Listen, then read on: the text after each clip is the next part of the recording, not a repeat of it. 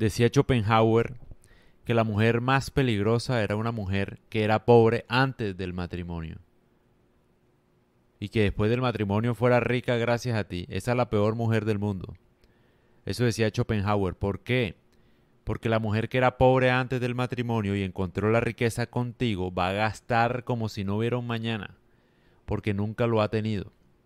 En cambio, recomendaba Schopenhauer que era mucho mejor casarse con una mujer que era rica, no porque ella ya tenía dinero o porque su familia tenía dinero, no necesariamente solo por eso, sino porque era mucho más conveniente porque ella también no solo traía dinero, sino traía costumbres para mantener ese dinero, para no gastarlo de forma tan como tan desproporcionada, porque a esa mujer le va a interesar mantener su riqueza y su estatus. Decía Ariosto en su primera sátira, una mujer de fortuna se le enseña a gastar juiciosamente, pero una mujer que tiene dinero por primera vez cuando llega al matrimonio, tiene un gusto especial por gastarlo, por tirarlo. Entonces el consejo que daban en esa sátira era no dejar que tu mujer pobre gastara el capital, sino solamente los intereses. De esta manera se iba a cuidar el, pues, el dinero que era para los niños. O sea, estoy hablando en temas de filosofía, por decirlo así. Pero un consejo muy, muy interesante, ¿no?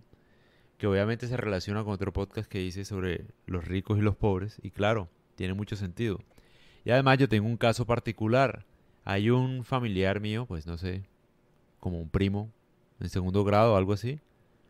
El man es un pelado joven. Obviamente nadie sabe que yo hago esto, ¿no? Nadie sabe que yo hago podcast ni nada. o sea, nadie de mi familia, ni mis amigos, ni nada.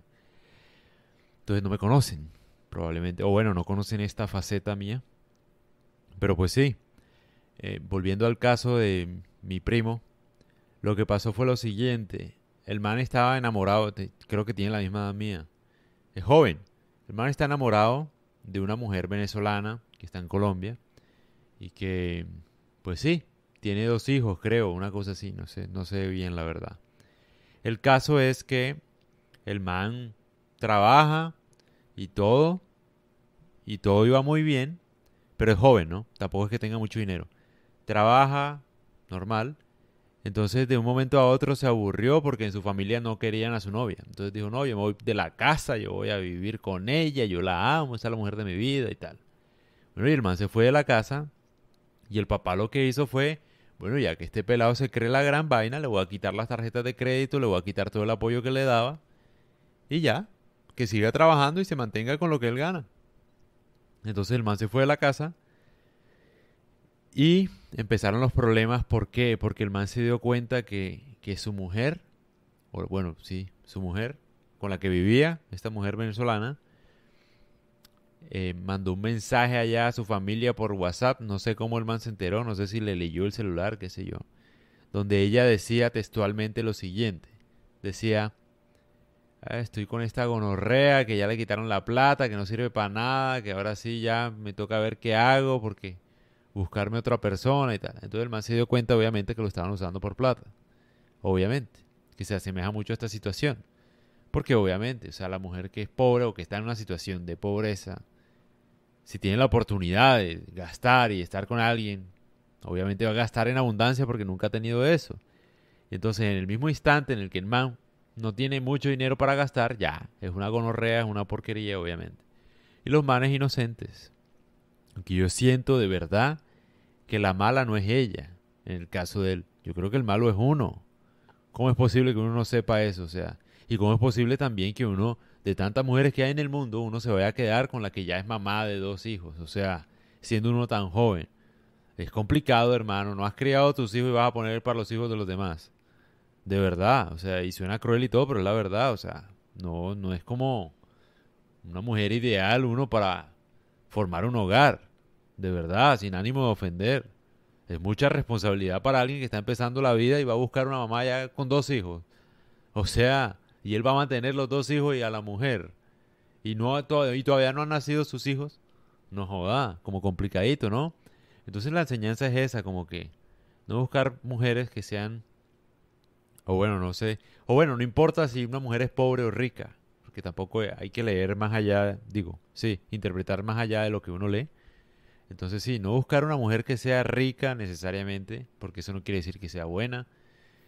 De pronto una mujer pobre, por lo general, si sabe ganar su dinero, pues va a ser mucho más importante casarse con alguien así, que ha trabajado su dinero, que una mujer rica que de pronto no sabe hacer nada, digo yo acá. Pero sí tener en cuenta el consejo de esta persona y es mirar cómo gasta su dinero, porque eso dice mucho de una persona. Por lo general, la persona que más lo gasta es gente que no ha tenido dinero, no ha tenido fortuna, entonces apenas le llega lo gasta. Y la persona que es rica, pues obviamente es más juiciosa gastándolo. No quiere decir que no lo gaste, pero de pronto no lo gasta en lujos o cosas así, digo yo acá. Entonces como que buscar a alguien que sí, que no se le note pues la condición o el interés de manera muy evidente, porque no va a ser conveniente. Y no lo digo para tu matrimonio, a no ser que tú tengas mucho dinero, lo digo es por tus hijos. Porque es necesario, en caso de que llegues a tener hijos, obviamente porque no todo el mundo quiere tener hijos, en caso de que tú llegues a tener hijos, pues es muy importante uno escoger una mujer que con la que uno puede formar un hogar, porque matrimonio tiene altas y bajas, uno no sabe si uno va a ser rico siempre, si va a ser pobre, lo que sea.